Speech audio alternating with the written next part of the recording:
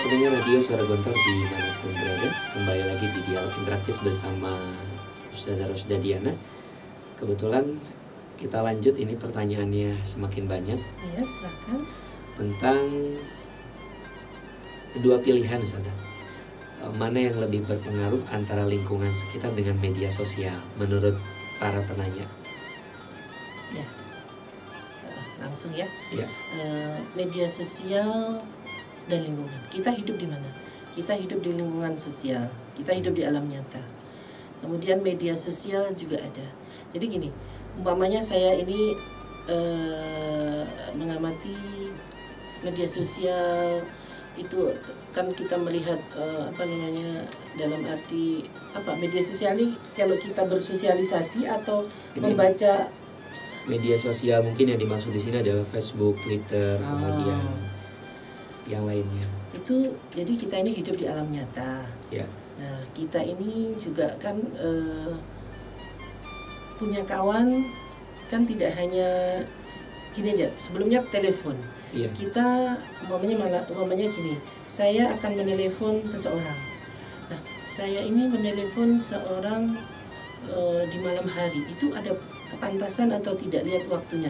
Jadi saya walaupun menelepon tapi sepertinya saya itu ngetok pintu rumah orang di malam hari. Nah, itu Hmm, kiasnya begitu jadi hati-hati gitu heeh. umpamanya saya menelpon suami orang umpamanya ataupun saya gini saya umpamanya eh, Facebookan tengah malam sedangkan suami saya tidur Wah, itu kan di dalam Islam sama aja dia seperti bertemu nah Hmm. itu tidak baik itu tidak benar jadi eh, itu pun juga harus se- se- seizin dan seanu suami sepengetahuan suami karena dalam Islam itu ibaratnya seperti bertemu Hmm, Nah, tidak bisa sembarangan. Jadi eh, lingkungan sekitar itu kita hidup di alam nyata, tapi media sosial itu eh, alam tidak nyata, tetapi kan kita bertemu. Bisa juga kalau kayak chatting, kayak Skype itu kan sama saja dengan bertemu.